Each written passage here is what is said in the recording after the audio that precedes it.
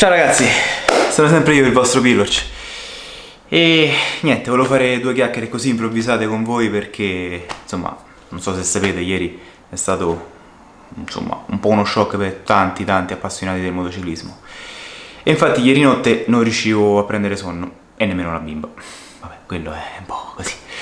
E allora alle 3 di notte mi sono alzato e ho voluto scrivere un pensiero che sapevo che se avessi aspettato fino alla mattina successiva eh, sarebbe volato via. Sapete, la creatività non ha orari. Ieri, domenica 14 novembre 2021, è stata l'ultima gara di Valentino Rossi. Io ero a pranzo dei suoceri, eh, sento in lontananza che stava per finire la Moto 2, stavo lì che mangiavo ma c'era la tv accesa, non finisco nemmeno di mangiare e mi butto sul divano. Inizia l'introduzione di Guido Meda per l'ultima gara di Valentino e oh, io non sono riuscito a trattenere le lacrime, non so voi.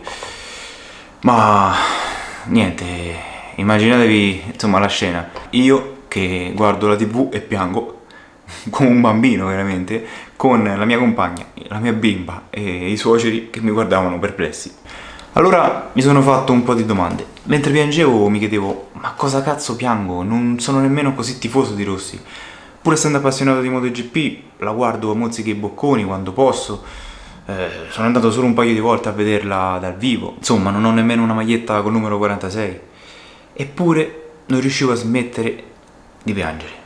Mentre Meda ripercorreva tutte le tappe della carriera di Rossi, io ripercorrevo tutta la mia infanzia. Tutti quei momenti, da prima in famiglia e poi con gli amici, insomma radunati un po' qua e là, in qualche salotto di qualche casa, tutti lì, in piedi sul divano, quando il dottore ci regalava emozioni forti non sono uno che ricorda nomi, date, piste, eccetera, eccetera. Mm, sapete, il mio Alzheimer giovanile non me lo permette.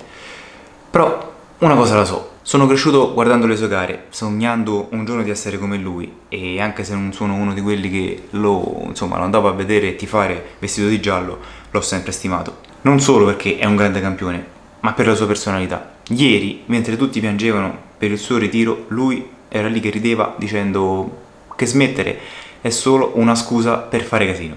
E che casino. Tutto il mondo ieri si è unito alla festa di Valentino Rossi. Sì, perché lui voleva che fosse una festa.